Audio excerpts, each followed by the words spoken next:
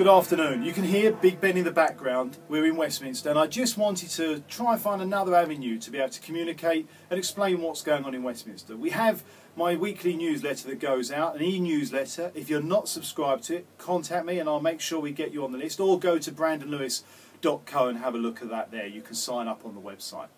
This week's been a busy week in Westminster. We've had the lobbying bill where we've got the protections in there for charities now, so that works. We've also had the announcement of the Royal Mail privatisation, something that will allow that organisation to continue to grow and be a great British institution with statutory protection for the six day delivery.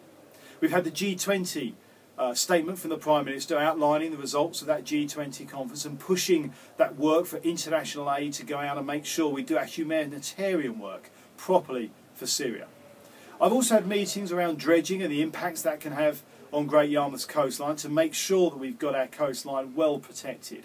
I've also met with fellow Norfolk MPs with Ofsted to discuss the situation regarding education in Norfolk and the County Council's future plans to make sure we have a great education sector in Norfolk. There's work to do on that and we're keeping an eye on that talking to Ofsted to make sure it's moving in the right direction.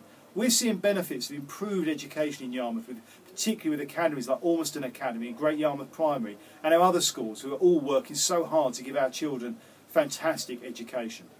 We've also had organisations like Breast Cancer Awareness here this week, making sure that we do our bit to promote awareness of breast cancer and early detection of it. And I'll be talking about a few of these things in my next newsletter in a bit more detail. For now, we still have another day of sitting here in Parliament with a sitting Friday this week, so still more work to do, but making sure that I keep you fully informed of what's going on here in Westminster for Great Yarmouth. And we've also this week had some really good news around employment figures. Unemployment in the country has dropped. Employment is now up 1.4 million on 2010. And in Yarmouth ourselves, we've seen a fall in unemployment year on year, which is great news, but it's just a start. And I'll be publishing details soon of my jobs fair we'll be holding before Christmas. And I hope people will be able to take part in that, benefit from that, to further drive this work to make sure that we get people into work and to make sure work pays.